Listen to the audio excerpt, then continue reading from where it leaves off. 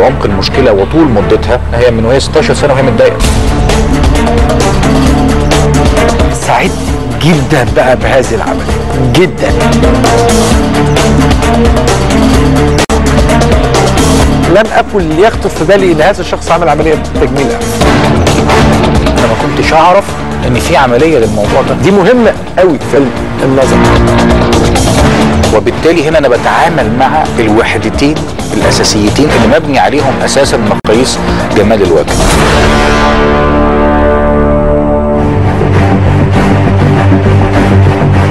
الأستاذ الدكتور محمد أبو زيد استشاري جراحات التجميل بكلية طب جامعة القاهرة عضو الكلية الملكية للجراحين بإنجلترا رئيس الجمعية المصرية لصحة المرأة فينس أهلا بكم. بلا شك الأنف واحدة من أهم الأماكن التي يتكلم أو يتعامل معها عالم التجميل. لماذا؟ اولا لأنه عملية الأنف أو عملية تجميل الأنف الخطأ فيها يؤدي إلى غالبا كارثة. كارثة شكلية وكارثة وظيفيه لأن إحنا بنتكلم على عضو له علاقة وثيقة جدا بالجهاز التنفسي. respiratory system ده جزء منه الأنف. فالخطأ هنا مش هيضر الإنسان في شكله بس ده هيضره كمان في قدرته على التنفس. ثانيا إنه الأنف ليها أكتر من زاوية في الرؤية.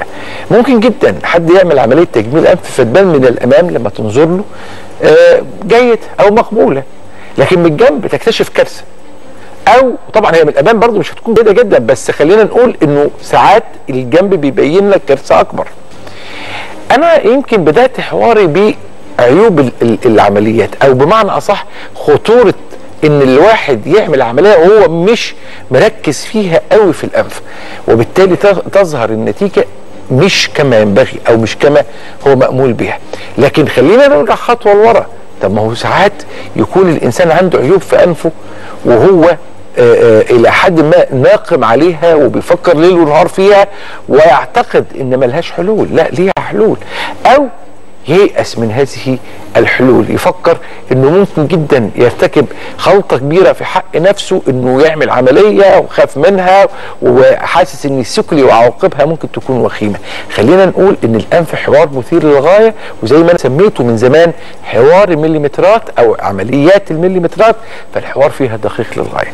ولذلك الحوار هنا سيأخذ مناحي عديدة وشروحات كثيرة جدا. واسمحوا لي فيها إن أرحب بضيفي العزيز الأستاذ دكتور محمد أبو زيد أهلا بيك يا دكتور محمد. أهلا بيك. الأنف قبل أن نبدأ آه خطوة خطيرة في حياة الإنسان اللي مؤمن إن عنده مشكلة في الأنف.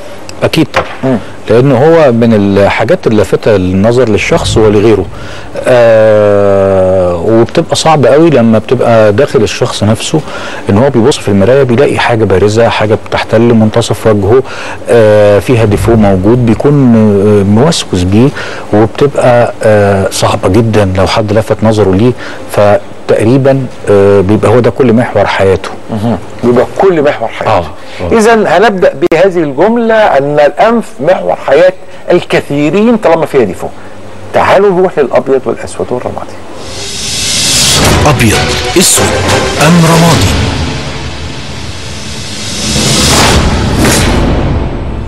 عملية تجميل الأنف آه، هي العملية ال- الأكثر أهمية والأكثر دقة في عالم جراحات التجميل التعبير ده أبيض أم أسود أم رمادي؟ رمادي. رمادي. آه. هي هي العملية الثانية في الدقة بعد عملية تجميل الجفون. لأن حضرتك بدأت حوارك بالمليمترات فالمليمترات تكون في الجفون اولا ثم في الأنف ثانيا. لكل عيان طريقة معينة في تجهيزه من ناحية تشريحية إعداد خاص يعني حسب تقسيمات وجهه التشريحية. أبيض أو أسود أو رمادي أبيض. لابد من أخذ القياسات الدقيقة ومعرفة آه، علاقة الأنف بالمناطق المحيطة بها وعلاقة أجزاء الأنف بعضها البعض. المسافة ما بين العينين طول ال- الشفة العليا الزوايا ما بين الأنف والجبهة والزوايا ما بين الأنف والخد وتناسق أجزاء الأنف مع بعضها البعض البعض وعلاقة الأنف ببقية الوجه نفسه. عمليات الأنف تحتاج بعد آه، تنفيذها إلى وقت ما لكي تظهر النتيجة كاملة. الحقيقة إنه كان زمان مع الأوبن تكنيك أو العمليات اللي فيها جرح وفتح للأنف كانت بتاخد ست شهور حتى تظهر النتيجة. أما الآن مع ال closed technique أو الأسلوب المغلق اللي هو عملية الأنف بمخدر موضعي وبدون جروح آه، خارجية ومن داخل الأنف آه، كاملة آه، ما بنحتاجش أكتر من ثلاثة لست أسابيع حتى تظهر هذه النتيجة. في السابق تم تعديل حاجز واستئصال اللح... اللحمية هو الحل الوحيد لإصلاح وظيفة الأنف. وإذا كانت لها علاقة بالمشكلة التنفسية ولكن الآن اصبح التجميل هو الحل الأفضل آه، بمعنى صح تقدم الصف بقى هو الاختيار الأول أبيض أسود أم؟ لا أسود. أسود. آه. ما زال هناك آه، دور لطبيب الأنف والأذن في تقييم آه، الغضاريف الداخلية آه، اللي بتحيط بفتحات الجيوب الأنفية فيما يتعلق بالجزء الداخلي أو التلتين الداخليين من الأنف. أما التلت الخارجي فبيكون في جزئين يا دكتور أيمن. الحاجز الأنفي زي ما حضرتك ذكرت وده هو الدور جراح التجميل والصمامات. الصمامات اللي هي الصمام الخارجي والصمام الداخلي ودول اللي إحنا لينا دور في ال- التعامل معاهم في كمدخل للجهاز التنفسي العلوي وعملية التنفس. أما ما زال هناك دور لطبيب الأنف والأذن فيما يخص المشاكل الوظيفية المتعلقة بالتلتين الداخليين من الأنف. من الممكن أن يحدث نزيف من الأنف بعد العملية آه، آه، لفترات قصيرة. 24 ساعة. أبيض أسود أبيض. أبيض. 24 ساعه ما يقلقش العيان. ابدا. مظهر الأنف ده سؤال مهم قوي يكون غير طبيعي في الفترات الأولى بعد عمليات التجميل. أبيض ولا أسود ولا رمادي؟ أبيض. أبيض. يعني بمعنى إيه يكون غير طبيعي؟ متورم. متورم. فقط. إنما علاقات الأجزاء ببعضها البعض بتبان من على ترابيزة العمليات. آه طب نشرح للناس. ليه ليه بيحصل آه، تورم في الأنف والوجنتين بعد عملية التجميل من المخدر الموضعي اللي بنحقنه ببساطة شديدة جدا.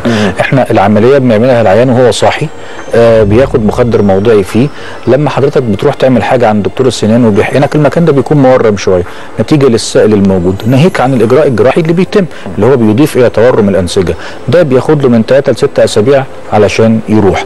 أما الزرقان لا يوجد تماما في عملية الأنف أو في مكان الأنف نفسه ولكن بيوجد أسفل ال- ال- العينين علشان كده آه بنقول إنه الانف نفسه ما بيزرقش ولكن أسفل العين ده بيزرق نتيجة في بعض الحالات اللي محتاج فيها كسر العظم للتعامل آه معاه. الورم والزرقان بياخدوا قد إيه يا دكتور ايمن؟ بياخدوا مدة من أسبوع ل 10 أيام بحد أقصى حتى نصل للشكل النهائي من 3 ل 6 أسابيع. آه، السؤال الجاي ده مهم بس هيفتح في عقول المرضى اللي عندهم مشاكل في الأنف تساؤلات معينة ممكن جدا عملية تجميل الأنف نتخيل نتائجها قبل اجراءها ويكون قدامنا كما نرى بالظبط نتائج مثلا أي آه، آه، آه، جراحة أخرى في الجسم شفط الدهون والى آخره تنسيق القوام الأنف كذلك. أبيض أسود أم رمادي أسود طبعا. أسود. آه الحتة دي مهمة عايز أفهم. آه هنا آه نعود للقاعدة الرئيسية آه إنه لا يوجد هناك أنف جميل ولا أنف مثالي. ولكن هناك أنف مناسب. ده يجيب على سؤال حضرتك إن أنا ما عنديش أنف اسطمبة معينة أقدر أركبها على آه وجوه مختلفة تكون مناسبة. ومفيش أنف جميل ينفع يناسب كل الأشكال والأشخاص والذكر والأنثى. ولكن هناك الأنف المناسب. طب شكلي إيه بعد العملية؟ هو الأنف الذي يخلو من العيوب ولا يلفت النظر أنه تم به إجراء جراحة. تاني يعني لما أشوف حضرتك ما ألاقيش ديفوق أعلق عليه بعد العملية ومحدش يعرف إن أنا عملت عملية. مش عشان أنا مخبي عشان ما يبقاش ملفت للنظر إن هذه الأنف معمولة. بفرض إن أنا ما أعرفوش قبل العملية. بالظبط. يعني واحد النهارده شفته لأول مرة مش المفروض أقول له أنت عملت أنف أو عامل أنف. بالظبط. هنروح للجزء الثاني في الحوار لأن ده جزء مثير جدا. إحنا خلصنا الجزء اللطيف الجميل في الحوار اللي هو أبيض وأسود ورمادي الجزء العلمي يعني. طب العالم الواقع. اذا لازم نفهم الواقع ده في المتهم والجاني والبريء. جاني متهم أم بريء. أنا هبدأ بسؤال ساخن ساخن. جراح جاله مريض وهذا المريض عنده عيب معين في الأنف آه، موجود من عملية سابقة. فقال له الجراح لا يمكن إصلاح هذا العيب العملية خلاص بايظة يا ابني وروح آه، آه، وكنتم معه. وطبعا لا يخلو الأمر من كلمتين في حق ال- الذي أجرى العملية الأولى سواء في مصر أو خارج مصر. هل ده التصرف ده متهم ولا جاني ولا بريء هو بريء لأنه قال له أنا ما أقدرش أعمل لك حاجة. هو جاني لأنه أخطأ في زميله اللي لما أتكلم عنه مش كويس. طب أرجع أسأل تاني. طب المريض هنا يروح لفين؟ هو المريض منهار خلاص. أنا النهارده كان عندي حد عامل عمليه في أنفه أربع مرات وغير آه. راضي وقلت له هنعمل العملية. وكان عندي حد عامل مرة وقلت له أنا ما أقدرش أعمل لك العملية. لأنه آه، إحنا وصلنا لمرحلة إنه فعلا هنا آه، هيبقى درجة قبولك للعملية 60% دخلنا في الإصلاح وليس في التجميل. لو قبلت بال 60% هعمل لك العملية. لو لم تقبل مش هعملها لك. المريض اللي بيرفض القيام بعملية تجميل في الأنف لأنه بيعتقد إن عمليات تجميل الأنف ممكن أن تؤدي لمشكلة في التنفس. وأنا خلينا نقول إن هذا المريض محظوظ لأنه في مشاهير في الفترة الأخيرة عملوا عمليات أثرت فعلا على التنفس بتاعهم. أو عملوها في دولة خارج مصر أو في عدة دول خارج مصر.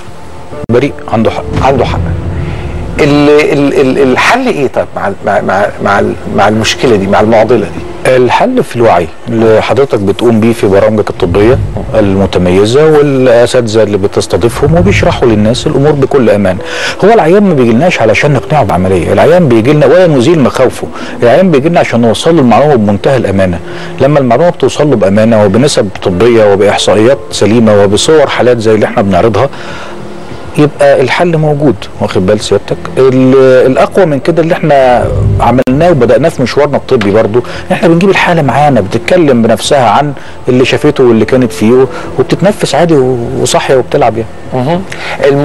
بس المشهور المشهور دايما آه، راكز في عقول المشاهدين الشخص المشهور يعني. مؤثر بشكل أكبر على عقول المشاهدين. لو عملية أنف لحد من المشاهير فشلت هنا عملية الأنف اتحطت في قفص الاتهام مش اللي أجراها ال- العملية نفسها. دي حقيقة. تذكر سيادتك آه، ممثلين مشهورين اجروا مثلا عمليات شد وش وكان شكلهم غريب جدا فده أساء لعملية شد الوش وده بيؤكد كلامك آه، 100% ولكن في الآخر إحنا بنبني درجة آه وبنبني بناية لا نهاية لها إن شاء الله بإذن الله من الوعي.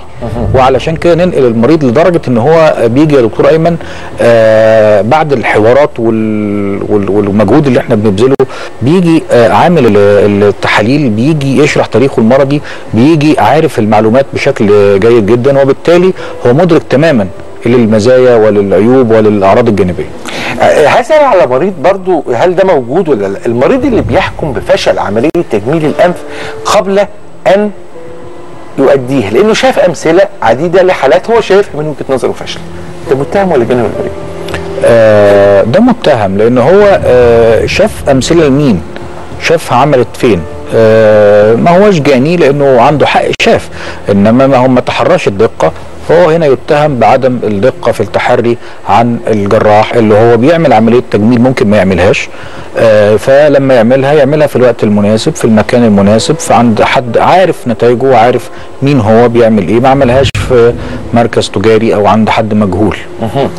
الدك... ال- ال- المنظومة الطبية أو الجراح الذي يجري عمليات تجميل أنف باسطمبة واحدة. في مدرسة كده اسطمبة هي أنف نفس الأنف ما ما بيغيرهاش. ده متهم ولا جاني ولا بريء؟ ضعيف. يبقى متهم بالضعف. متهم بالضعف. متهم بالضعف. آه، آه، المدرسة دي موجودة في بعض الأماكن يعني آه، آه، الحكاية ديت هل تسللت لمصر ولا لسه؟ تسللت للأسف. تسللت. إذا هنذهب إلى المنطقة الهامة الثالثة وهي الوه والشك واليقين. وهم شك أم يقين؟ الجزء ده هياخد وقت طويل لأنه عمليه تجميل الأنف مصحوبة بكثير من الأوهام والتشككات واليقين فيها مش واضح. يمكن لأنها عملية تقنيتها صعبة تقنية صعبة وفيها تفاصيل دقيقة. لكن خلينا نبدأ الأول. إنه ال- المدرسة أو المدرسة المصرية مدرسة تنفرد بإنها تخلق خط فاصل واضح جدا بين الراجل والست في عملية تجميل الأنف. ولا شك ولا يقين. المدرسة المصرية الكلاسيكية. آه فالمدرسه المصرية تأثرت ب- بمدارس كتير فهي ما بقيناش نقدر نقول إن هناك المدرسة المصرية الخالصة لأن هناك آه، تعليم محلي وهناك تعليم أوروبي وهناك تعليم أمريكي وهناك تعليم تجاري للأسف اللي هو حضرتك وصفته في الجزء السابق بالاستنباط فأنا ما بقاش عندي المدرسة المصرية الخالصة ولكن أنا بنتمي للمدرسة الأوروبية اللي هي آه، بتتعامل مع النسب والأنف المناسب آه، وليس آه، ال- الاسطمبة أو الأنف المثالي أو اللي أقدر أقول إن أنا أعمله. وهنا يأتي الإجابة على سؤال حضرتك. طبعا هناك فرق في مقاييس الأنف بين الرجل والمرأة لابد من مراعاتها عندي كارت أصفر وعندي كارت أحمر. عندي طريقين طريق سلامه وطريق ندامه مين اللي هتديله كارت الأصفر في عملية تجميل الانف قد يكون مريض قد يكون دكتور زي ما أنت عايز. نقي. الأصفر الأصفر. والأحمر؟ الأصفر ده انذار مفيش كارت أخضر؟ هو كارت أخضر ده حلو ده هيدي هيديني ناس كتير قوي هيديني كل كويسين. فهو تقريبا في كارت أخضر بدأ يطلع في الكورة. لكن خلينا نقول الأصفر والأحمر. الأصفر إنذار تهديد. لعيان ولا مريض؟ زي ما أنت عايز. العيان ولا دكتور يعني؟ آه. زي ما انت عايز مطلق الحر آه عيان أو طبيب. يعني ال- الكارت الأصفر هديه لقليل ال- ال- الخبرة والكارت الأحمر هديه للمريض النفسي. آه. كارت أحمر. ده ده ده بيبقى ده بيتعمل عليه أصل أنا بحذر يعني. أنا خلاص قليل قليل الخبرة ده يبقى طبيب. لأن أحذره. فاهم قصدي إيه؟ لأنه ما في حدش كبير على التعليم ويتعلم. إنما الأحمر ده خد بالك هيجي لك عيان راجل. واخد بقى؟ أنا بقول للناس كلها هيجي له عيان راجل ده اللي هيفضل ولا ست؟ راجل. بيعمل عملية تجميل أنف؟ هنا أصلها أنت قصة. بتحكي تجارب. أنت عارف لما يجي لك العيان تبقى عارف هو عمل إيه في العشر سنين اللي فاتوا؟ من قعدته معاك كده؟ فهيجي لك عيان راجل بقول له زمايلنا يعني قبل ما ياخدوا الكارت الأحمر ده هيجي لك عيان ويشكو من حاجة في الأنف وأنت بتفتقد للتحليل النفسي ويعني هتسيب المهنة بسببه. هيقلب لك حياتك للجحيم نبقى انتاج أحد المسلسلات المشهورة في أمريكا. عملوا حلقات على المرضى السايكيك اللي بيروحوا عند الدكاتره وبيعملوا يعني بيقعدوا بقى يطردوهم في ال- يعني مثلا تلاقي الدكتور بيتعشى يلاقي الدكتور المريض جه قاعد جنبه وبيكلمه. أنا, أنا مرة عيان أنا مرة عيان آه كان بيستنى في بيستنى في جنب لا البيت. لا لا ده, ده عيان جه شكوته في العيادة. آه آه حرام عليكم أنتوا خليتوني جميل. آه. أنتوا غيرتوا خلق. ربنا وخليتوني جميل. أنا ما. كنتش أعرف إن العملية تعمل فيها كده. طب أنا يعني طب كنا نخليك إيه؟ طب عارف ده تاخد 10 سنين ما فيش هو ما هو يعني لا ما خلاص. في كل الفروع الطبية الطب النفسي. آه. طيب طريق السلامة وطريق الندامة. طريق السلامة في عمليات تجميل الأنف وطريق الندامة. وطريق الروح ما يرجعش. طريق السلامه طريق السلامه هو الوعي. والمثل الشهير اللي بقوله في كل حلقة من خاف سلم خاف. تخافش ليه؟ ما تخاف عشان تسال وتعرف وتستفسر وتتفرج و... فاهم قصدي إيه؟ آه طريق الندامة الاستعجال والفرجه على المراكز التجارية والاسترخاص وكده. وشك و... وانت اللي هتندم عليه. الندامة الندم الندم في الأنف ليس بعده ندم. حقيقة. آه يعني حاجة بتبقى قاسية جدا إنه آه، حد بقى لأنه وظيفة وظيفيا كمان هتتأثر. أكيد. فالتنفس والنوم ومش عارف إيه. الجميل العملية تطلع جميلة سعادة ما بعدها سعادة. أسترخص وأستسهل وأروح وأجري وما ما, أدرسش وما أشوفش الجمعية المصرية لجراحه التجميل قالت إيه وال research والى آخره. إحنا بالتالي حفظنا الناس. يعني إيه يعمل research على الجمعية المصرية لجراحه التجميل ده ده بسيطة احفظه كلام. إيه عايز تعمل ارجع للجمعية المصرية لجراحه التجميل. واضح ال site بتاعها واضح كل حواراتها واضحة جدا جدا. أنا سعدت السعاده غامره بهذه الزيارة الجميلة وهذا الحوار الرائع. والأنف لا تنفك من أن تدرس بدقة شديدة وزي ما بيقولوا يعني إيه هي تستحق منا هذا الاعتناء الشديد جدا في عالم آه، آه، مهم جدا. اللي عندهم مشكلة في الأنف ممكن حياتهم بجد تبقى محورها الحكاية دي. ويركز فيها جدا جدا ويسألك في كل حتة في أي مكان تلاقيه هو سايب حياته سايب عادته عشاه وسايب مراته وسايب ولاده جاي قاعد معاك. قول لي بقى أنا أنا هعمل إيه في المناخير نورتني يا دكتور محمد. شكراً. ضيفي العزيز الاستاذ الدكتور محمد أبو زيد كان معنا في هذا الحوار المثير خليكم دايما مع الناس الحلوة. ودايما بقول للمرضى إحنا ما بنعالجش أشعة. اطلاقا. إحنا بنعالج مرضى. التدخل ال- النصبي اللي بيستخدم فيه أساليب النصب لتصليح مشاكل المخ والأعصاب دي ممكن تكون قاتلة. إنما لما تبقى معتبرني أنا البعبع وخايف تيجي عندي عشان لمجرد إن أنا راجل جراح أتعامل مع المشكلة على قدر احتياج المريض. وليس على قدر امكانياتي أنا. معظم عمليات المخ والأعصاب تحقق مضاعفات أو مشاكل أكثر من ما تحقق شفاء. طب تعرف تستخدم الجراحة المناحية عشان تتكلم عنها. الجراحة المناحية لا يوجدها إلا متخصصينها.